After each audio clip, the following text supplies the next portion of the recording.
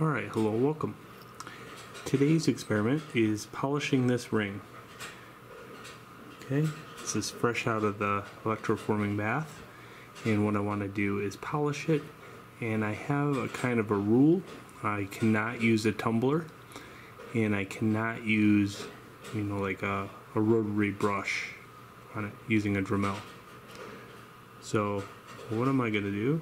Well, I'm going to try ferric chloride.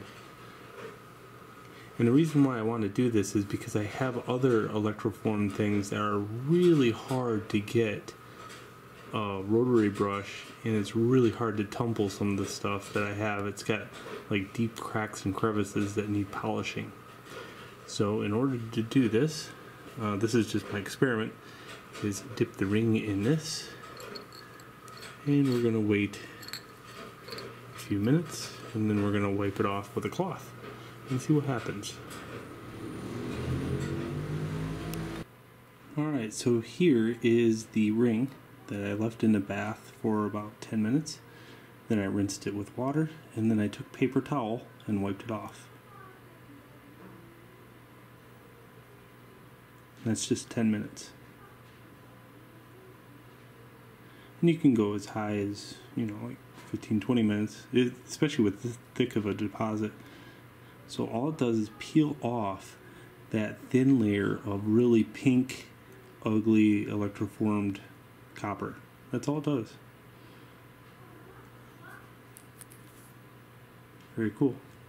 I have another test piece in here. I'll pull out in a few minutes and show you that one too.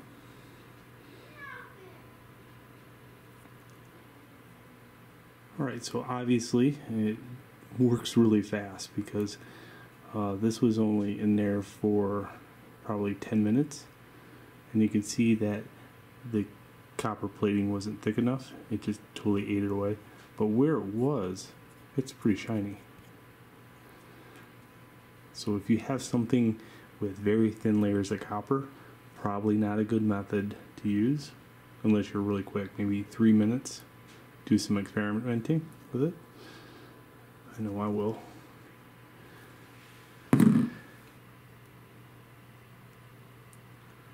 An opal ring.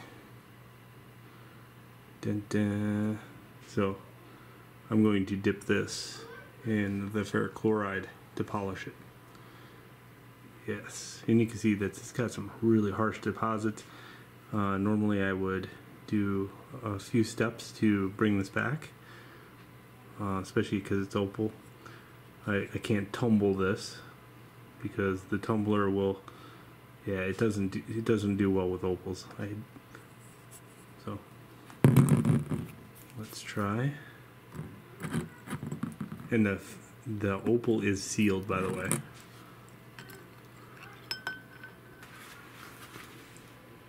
Alright, so here's the opal ring. Here's paper towel. This has just been rinsed off with water.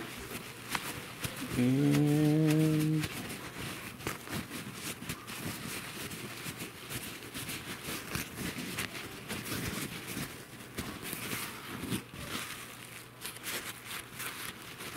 Look how nice and shiny that is.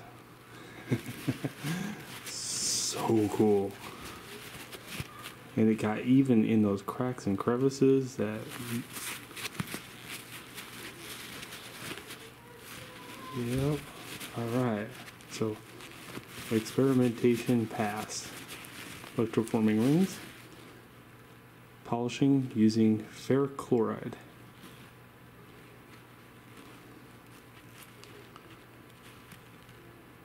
also ferric chloride I would neutralize this probably one more time using uh, baking soda and water. Rinse it off, and then you can do a patina on it.